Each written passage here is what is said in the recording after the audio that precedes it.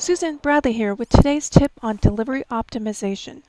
Now what is delivery optimization?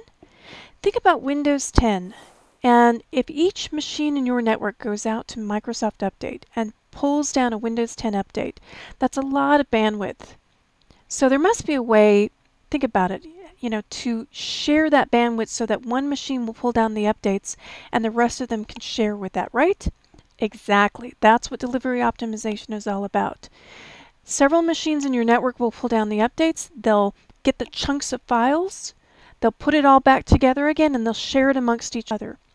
And especially in 1803 and 1809, there's much more specific settings to allow the machines to minimize the bandwidth use so they won't saturate your network link. To find these settings, I'm showing you right now in the local group policy ed editor just because it's a little bit easier for me. Obviously you'll be using the group policy editor up on the domain controller, or you can use registry keys, or you can even use Windows Intune. You'll find these settings under Computer Configuration, Administrative Tool Templates, Windows Components, Delivery Optimization.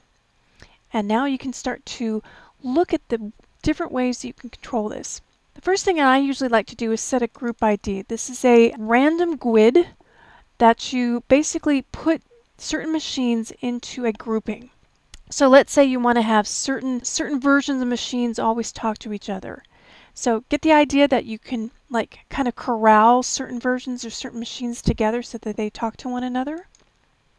Then you want to kind of limit some of the maximum upload bandwidth. Uh, you can set some quality of service settings.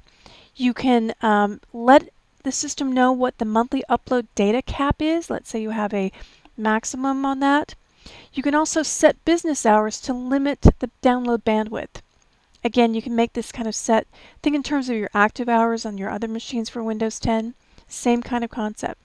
Foreground bandwidth can be set also with the, the um, active hours concept.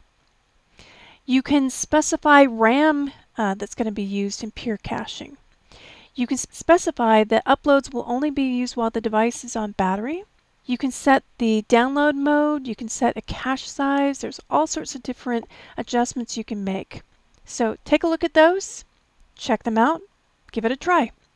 And that's delivery optimization in Windows 10.